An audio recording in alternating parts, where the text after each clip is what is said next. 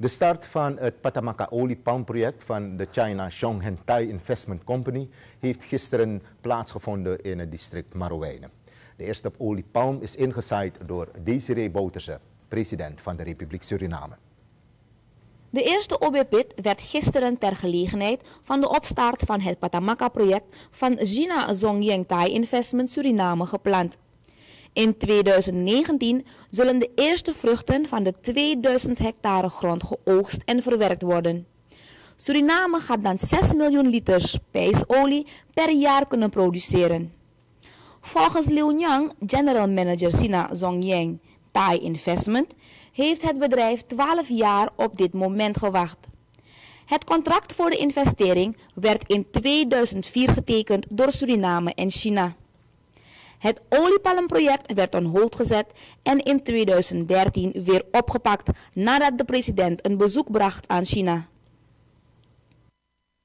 我想今天这个竣工的典礼，就是实现了包子总统对大家的希望。Toen onze president een bezoek bracht in China, had hij ook een meeting gehad met de Chinese uh, handelaren en die in investeerders en die heeft uh, de mensen ook uh, dat, uh, dat wij de manier investment, investment moet gaan, een verandering moet brengen in investment in Suriname. En vandaag is de dag. Liu Nyang, General Manager China Zongyang Thai Investment. Volgens Suresh Algu, minister van Landbouw, Veeteelt en Visserij, LVV, is het oliepalmproject goedgekeurd voor 40.000 hectare. Hij zegt verder dat er nu een begin wordt gemaakt met 2000 hectare, waarvan 500 bestemd is voor biomassaproductie en onderzoek van andere varianten van kokos en obe. Die smaak heeft, wat betreft van water. En zo gaat het project.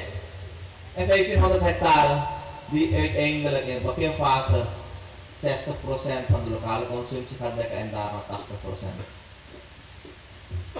Vandaag is 2016, december. 1 december 2019 moet dan olie verwerkt worden. Er moet olie, spijsolie geproduceerd worden in het district Marowijnen. En dat betekent dat een deel zelf geëxporteerd kan worden. Arbeidsplaatsen. Men kan meer focussen op de kettingreactie van dit project.